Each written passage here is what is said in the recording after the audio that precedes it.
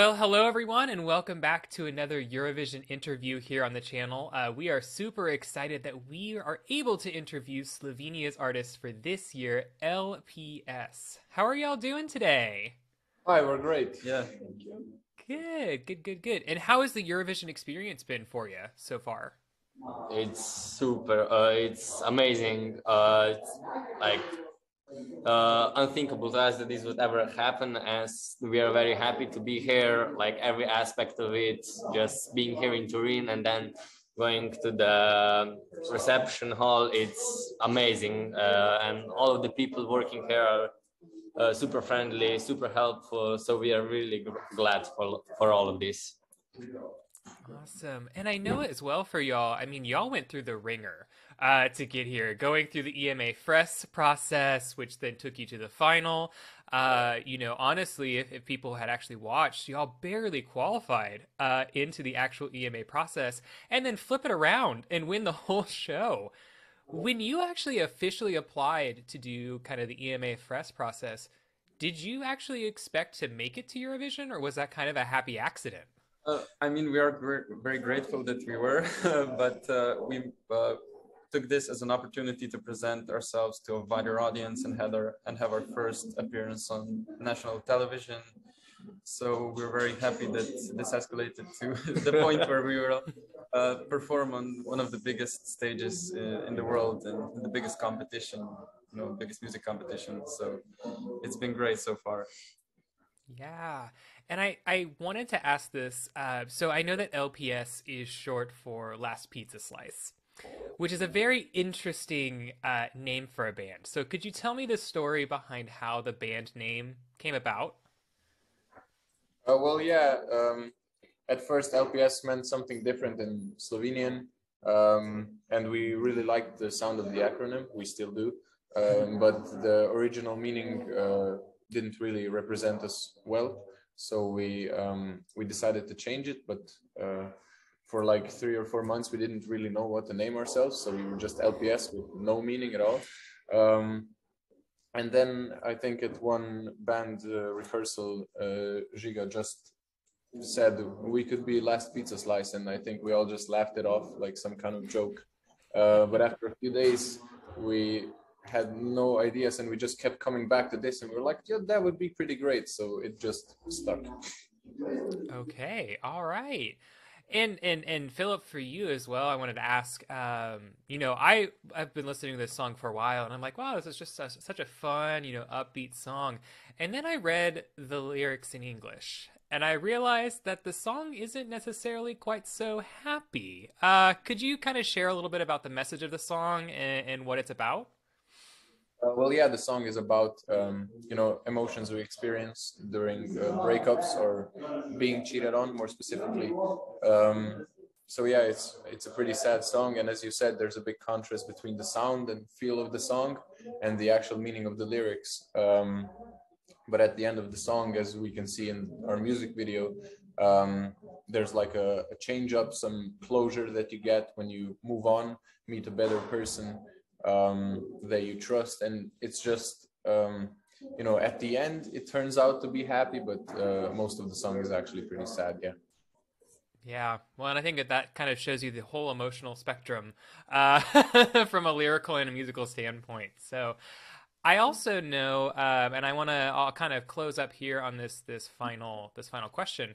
Uh, one of my favorite questions to ask, and you can ask or answer this all individually, or you can do it as a group. You can figure that out. But who is going to get your 12 points for Eurovision this year? Ooh, probably individually. Uh, like what we would give or what Slovenia will give? What you would give specifically. You can start. Okay. Um, me personally, I would uh, give it to the Netherlands. I I was uh, fascinated by her performance in Amsterdam, and uh, ever since then i just fell in love with the song actually uh, yes i would uh, get, give my 12 points to netherlands too because i just love her song and the story behind the song and everything about it yeah well i think there are many great contestants this year so it's probably a really hard decision, but uh, I'd give it maybe to um, to Sweden. I'd give my 12 points to Lithuania because the performance is, I would say, minimalistic for Eurovision, but it works so well with her songs and her movement, uh, as we discussed with Zala, uh, is amazing. Her dress is also beautiful, and the whole song, uh, it mesmerizes me. So I would definitely give 12 points to Lithuania. Yeah, I would probably give my 12 points to Netherlands or the Sweden. I like both performances. Perfect, perfect. And I did say that would be the last question, but I lied because I realized I have a couple more minutes. So I also want to ask you after Eurovision, what are the plans? Is there a, an album that'll come out? Are y'all going to go on tour? Anything on the kind of on the plans? Uh, no, the band stops when. Uh, you're- Yeah, No, our uh, contractual obligations. end. no, uh, yeah, we definitely plan to have as many concerts as possible and release as much new music as we can. So yeah, we, you, you should definitely expect an album and as well singles and then an album in the future. So we'll be working hard to make it happen. All right. Well, if y'all happen to be uh, in the United States and want to do a concert somewhere in the Texas Oklahoma region, y'all just let me know. I'll do some free promotion for you, okay? An opportunity presents itself. We'll be very happy to take it. Perfect, perfect. Well, my final question for you all uh, this is just a little bit of a fun question, but what would people be surprised to learn about you? Whether it's like for an individual standpoint, a, a hobby, a talent, a secret passion. Um, I'm not sure. Probably that 80% of the band can badly speak Spanish and Zala can speak French very well. Yeah. So you can discuss with her in French if you know. So. Not for me. so that means um, I'm sure if you uh, happen to bump into Chanel at some point during this process, I'm sure you can have oh, uh, 80% well conversation with her. Well, Um, I know that she- all of us are present. Well, We will talk in slow mo, but uh,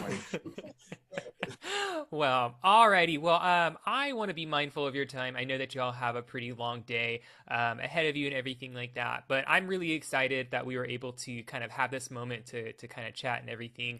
Uh, for those who are watching this interview, make sure that you tune in to the first semifinal so that you can watch LPS's performance, but also support them in that semifinal as well. Uh, make sure that you support us here on the channel by c- clicking the uh, notification bell, the like button, the subscribe button, all of that. Um, and also go show some love to LPS specifically and go follow them on social media, on Spotify, iTunes, wherever you get your music, so you can kind of support them in their journey as well.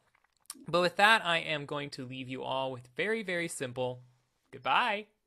Thank you so much. Bye. Thank you. Thank you so Bye. much.